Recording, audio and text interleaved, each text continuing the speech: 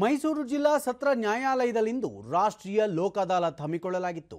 ಈ ವೇಳೆ ಶೇಕಡಾ ಇಪ್ಪತ್ತರಷ್ಟು ಪ್ರಕರಣಗಳನ್ನು ರಾಜಿ ಸಂಧಾನದ ಮೂಲಕ ಇತ್ಯರ್ಥಪಡಿಸಲಾಯಿತು. ಲೋಕ ಅದಾಲತ್ನಲ್ಲಿ ಹದಿನಾಲ್ಕು ಸಾವಿರಕ್ಕೂ ಹೆಚ್ಚು ಪ್ರಕರಣಗಳನ್ನು ಕೈಗೆತ್ತಿಕೊಳ್ಳಲಾಗಿತ್ತು. ಅವುಗಳಲ್ಲಿ ಬಹುತೇಕ ಕೌಟುಂಬಿಕ ಪ್ರಕರಣಗಳಾಗಿದ್ದು, ಉಳಿದಂತೆ ಬ್ಯಾಂಕ್ ಜೀವ ವಿಮಾ, ಆಸ್ತಿ ವಿವಾದ ಪ್ರಕರಣಗಳ ಕುರಿತು ವಾದ ಮಂಡಿಸಲಾಯಿತು.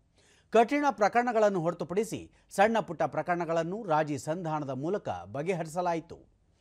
ದೂರದರ್ಶನದೊಂದಿಗೆ ಜಿಲ್ಲಾ ಸತ್ರ ನ್ಯಾಯಾಲಯದ ನ್ಯಾಯಾಧೀಶರಾದ ರವೀಂದ್ರ ಹೆಗಡೆ ಪಿರಿಯಾಪಟ್ಟಣದಲ್ಲಿ ಒಂದು ಗ್ರಾಮವನ್ನು ವ್ಯಾಜ್ಯ ಮುಕ್ತ ಗ್ರಾಮ ಎಂದು ಘೋಷಿಸಲಾಗಿದ್ದು, ಮೈಸೂರು ಜಿಲ್ಲೆಯನ್ನು ವ್ಯಾಜ್ಯ ಮುಕ್ತವನ್ನಾಗಿ ಮಾಡಲು ನಿರ್ಧರಿಸಲಾಗಿದೆ.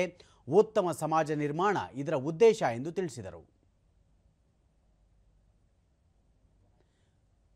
ಕಕ್ಷಿದಾರರಾದ ಪ್ರಸಾದ್ ಸುಮಾರು ಮೂರುವರೆ ವರ್ಷಗಳಿಂದ ದಂಪತಿ ಬೇರೆಯಾಗಿದ್ದವು.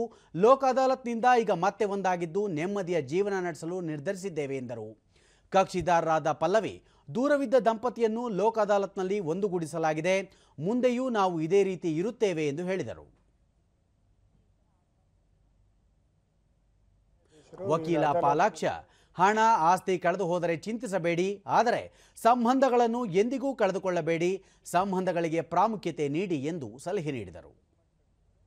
ಅದಾಲತ್ ಆಗೋದು ಸಾರ್ವಜನಿಕರಿಗೆ ಮತ್ತು ಎಲ್ರಿಗೂ ಒಂದು ಯಾಕೆಂದರೆ ಹೊರಗಡೆ ಏನೇ ಹೇಳಿದ್ರು ಹೊರಗಡೆ ಬಗೆಹರಿಯಲ್ಲ. ನ್ಯಾ ಪೊಲೀಸ್ ಸ್ಟೇಷನಲ್ಲಿ ಆಗಲಿ ಅಥವಾ ಊರಿನಲ್ಲಿ ಗ್ರಾಮಸ್ಥರಲ್ಲೇ ಬಗೆಹರಿಲ್ಲ.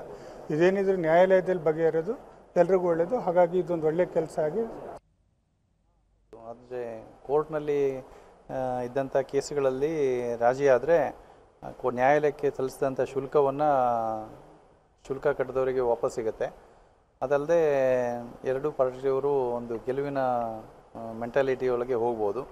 ಮತ್ತು ಇದಕ್ಕೆ ಆಗಾಗ ನಡೀತಾ ಇದ್ದಂಥ ಈ ಅದಾಲತಿಗಳಲ್ಲಿ ಹೆಚ್ಚು ಪ್ರಕರಣಗಳನ್ನು ವಿಲೇವಾರಿ ಮಾಡೋದ್ರಿಂದ ಒಂದು, ಎಲ್ಲರೂ ಒಂದು ಸಮಾಜವನ್ನು, ಸ್ವಾಸ್ಥ್ಯ ಸಮಾಜವನ್ನು ಮಾಡಲಿಕ್ಕೆ ಸಾಧ್ಯ ಇದೆ.